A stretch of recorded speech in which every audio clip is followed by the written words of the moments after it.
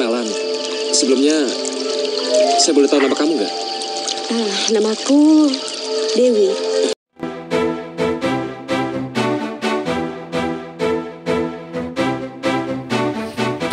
Film Genta Buana Indosiar memang sudah banyak menorehkan beberapa artis yang sangat multitalenta.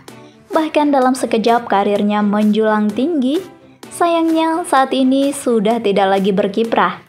Di sini, Mimin akan sedikit mengulas tentang pasangan pemainnya. Ada pula sosok Panji, Temira Hardi, bahkan juga Afdal Yusman. Berikut, istri asli film Genta Buana Indosiar, Roy Jordi, Panji Ruhiat.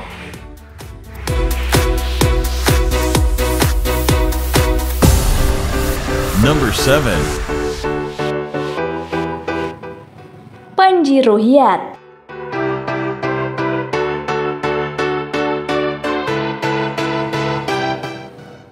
Memang pada dasarnya Genta Buana selalu saja menghadirkan beberapa aktor tampan yang tidak membosankan bagi para penontonnya. Bagaimana tidak? Lah, wajahnya itu loh sangat manis guys. Panji Ruhiat dikenal karena sering kali membintangi serial drama kolosial Genta Buana.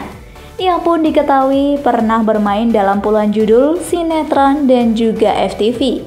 Pria tampan ini lahir di Bandung pada tanggal 16 Februari 1987. Kini ia sudah tidak lagi melanjang. Istrinya yaitu bernama Lena Maya. Dari pernikahannya itu pula, Panji sudah memiliki tiga orang anak sekaligus. Bahkan saat ini, dengan pekerjaan barunya di dunia bisnis, ia selalu menghabiskan waktunya bersama keluarganya.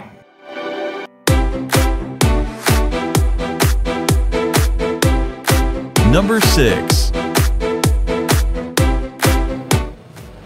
Coki Andriano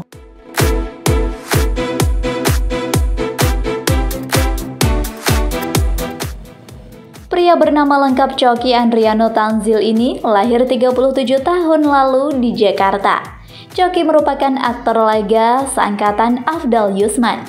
Sama seperti Afdal Yusman, Coki juga menjadi salah satu pemain di serial Angling Dharma. Selain itu, dia juga sempat bermain di Karma Pala Mahabharata hingga Misteri Gunung Merapi 3. Saat ini pria yang dikenal sangat manis ini sudah memiliki seorang istri yang sangat cantik, yaitu Ica. Keduanya telah menikah pada tahun 2004 silam. Cukup lama mengarungi bahtera rumah tangga, kini Coki sudah memiliki tiga orang anak sekaligus yang bernama Asrin Ziri, Alstrin Shirila, dan Finley. Karir Coki sebagai aktor laga memang bisa dibilang panjang, sebab sampai saat ini dirinya masih aktif berakting dalam sinetron laga.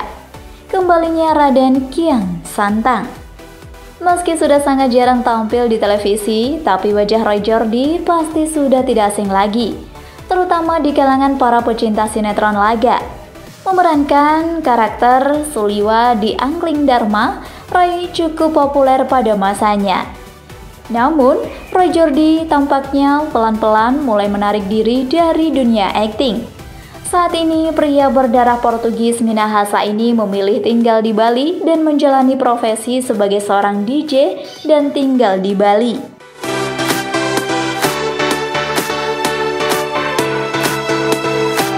Number 5. Arif Rahman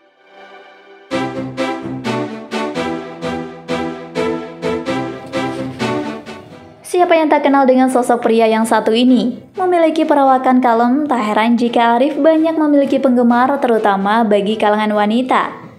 Arif dulunya kerap kali berperan sebagai tokoh yang baik di sinetron dan juga FTV. Pria tampan ini lahir di Jakarta pada tanggal 4 Oktober 1986. Lama vakum di dunia hiburan, ternyata Arif sudah memiliki bisnis baru dan menekuni hobinya di dunia balap. Arif menikah dengan wanita bernama Tara pada tahun 2003 silam. Bahkan saat ini keduanya sudah dikaruniai tiga orang anak sekaligus yang diberi nama Sashi, Mika, dan juga Michiu. Meski sudah menjadi pasangan yang cukup lama menikah, namun keduanya kerap kali membagikan momen keromantisannya di media sosial loh.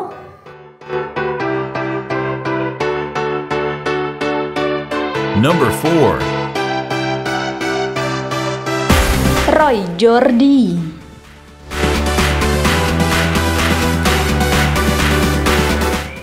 Selanjutnya masih dengan pria tampan yang sempat menghiasi layar kaca televisi Genta Buana.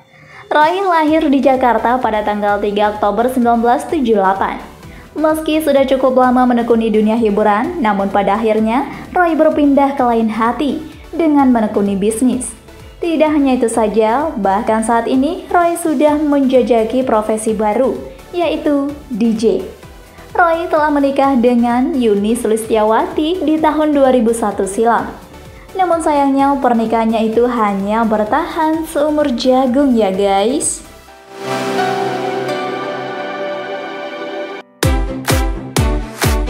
Number 3. Ahmad Afandi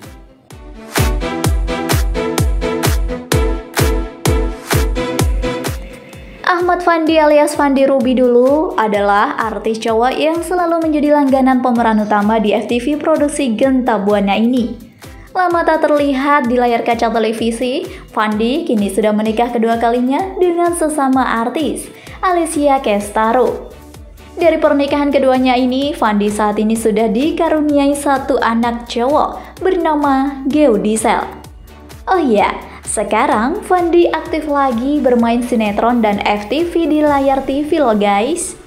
Pria kelahiran Jakarta 5 Maret 1987 ini sudah tidak muda lagi. Namun siapa yang menyangka jika wajahnya masih nampak awet muda.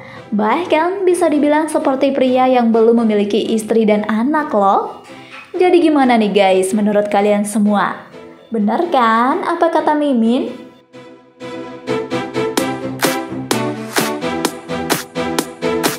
Number 2. Temi Rahardi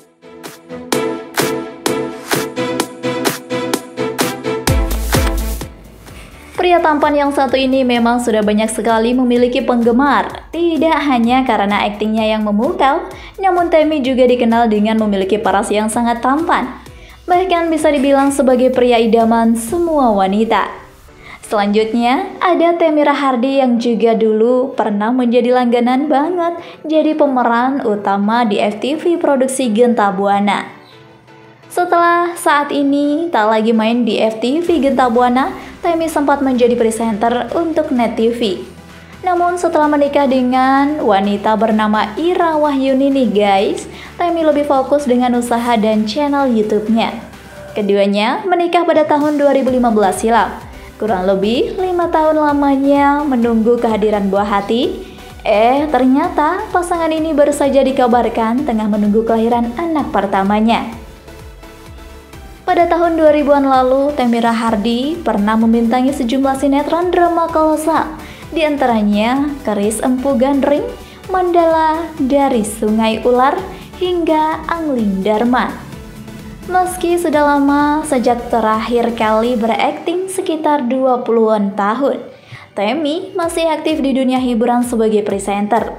Saat ini, Temi diketahui tengah memandu sebuah acara di salah satu stasiun TV. Di acara itu, Temi membahas hal-hal yang sedang viral di sosial media yang sangat terbaru. Number 1. Afdal.